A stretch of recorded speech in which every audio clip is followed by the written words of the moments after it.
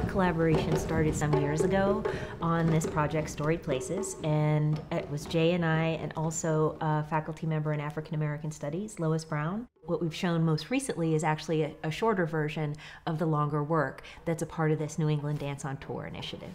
I was the music director or music consultant. I composed the music first. It was kind of built on this familial history and then uh, this whole idea of urban and rural roots mm-hmm. to urbanity in the 20th century. From West African, specifically kind of Guinea styles, to Afro Cuban, uh, Afro Haitian, and Afro Brazilian styles that already bring with them the history of the people who do them. And so we as a group tapped into those as our physical language. It's been an interesting process working in a collaboration. I've become more aware of kind of the interaction of composer with choreographer, director, mm-hmm. conceptualist, writer. I learned a lot about how mm-hmm. the movement tells a story without the text. Mm-hmm. You get the meaning or the, the signification of something from the movement itself